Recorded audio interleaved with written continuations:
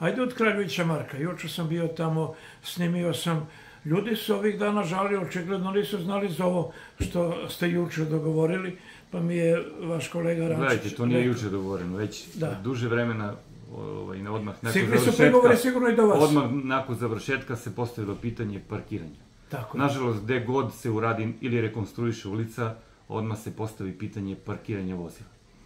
Mi smo, svi mi znamo da ovaj, svaki vozač, odnosno vlasnik vozila, mora da ima obezbeđeno mesto za parkiranje. Pogotovo kada se radi o porodičnim ovaj, kućama gde većina ima dvorište ili garaže. Ali se uvek izađe u susret ovaj, da se određeni broj parking mesta ostavi na samom kolovozu. Obzirom da je, da je ovde konkretno ulica Kraljevića Marka takvih dimenzija kakve je, trotoari su zadržani za pešake i na trotoarima, vi ste snimili, su ostavljene sadne jame za drvoredi sa jedne i sa druge strane. Znači, peša, pešaci će se kretati slobodno, neće biti parkiranih vozila na trotoarima.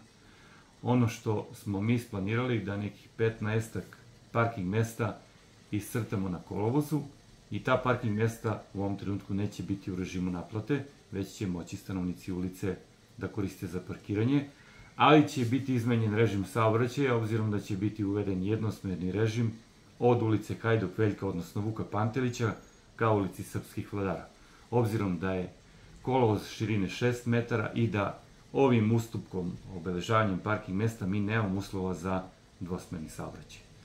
Mi smo i razgovarali više puta i bili na terenu, tako da većina žitelja te ulice zna o čemu se radi i ostalo je samo da izvođač radova u što kraćem vremenu izvrši horizontalno i vertikalno obeležavanje, odnosno postavljanje znakova i da kreće da funkcioniše taj novi režim saobraćaja. S obzirom da je tu i vatrogasna jedinica, koliko sam još razume Rančića, vi ćete dozvoliti njima Pazite, mi smo razgovarali sa pripadnicima vatrogasne jedinice i ovaj, on, oni su shvatili nas i izašli nam u susret, znaju da imamo taj problem, ali normalno, obzirom da se radi o posebnim potrebama, naravno će oni imati izlazi na jednu i na, i na, i na drugu stranu ovaj, ulice.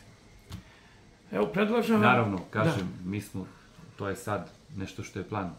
Pratit ćemo, naravno, odvijanje režima saobraćaja. Ako bude nekih problema, naravno da smo spremni da uradimo neke korekcije. Ovo što je sada doneto nije nešto što je trajno, znači sve je podložno promenama, pa i režim saobraćaja u toj ulici.